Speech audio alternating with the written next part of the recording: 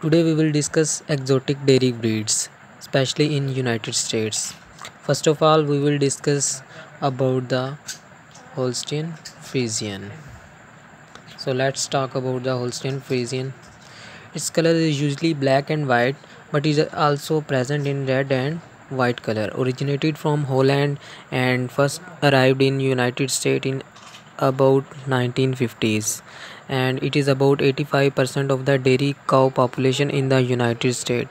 It gives 24,500 pounds milk per year and there is 3.7% fat and 3.1% protein in it and its weight is about 1500 pounds. Now let's talk about Jersey. Jersey is the second most numerous breeds in the US. 10% of the population and originate from the France. It gives 1800 pounds milk per year and its weight is for uh, approximately 1000 pounds.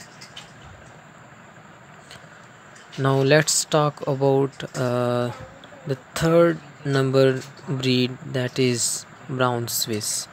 Brown Swiss fat percentage is 4.2 and protein 3.4 percent and gives 18,500 pounds milk per year. It is 1% of the population in US. Now talk about Ayrshire. Ayrshire is the and this is you can see the pig Ayrshire and other is Guernsey. You can see the pig